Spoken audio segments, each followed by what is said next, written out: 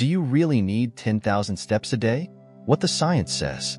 Alright folks, let's talk about walking. I know, I know, not exactly the most thrilling topic, but stick with me here. So, you've probably heard that magic number, 10,000 steps a day. Maybe you've even cursed your Fitbit for relentlessly nagging you to hit it. But have you ever wondered where that number came from? Or if it's even accurate?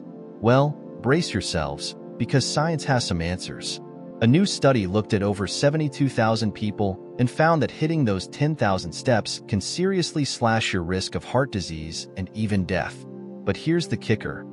Even if you don't quite reach that lofty goal, every little bit counts. Yep, you heard that right. Even a few thousand steps a day can make a difference. It's like your mom always said, just do your best, honey. Now, you might be thinking, but I spend most of my day glued to a chair What's the point?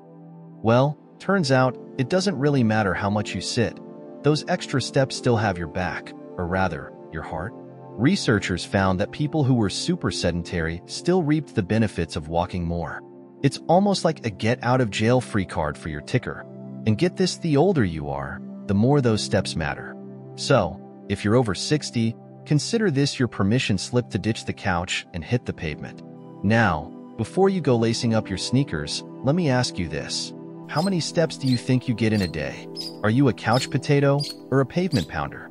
And what are some fun ways you can sneak in those extra steps?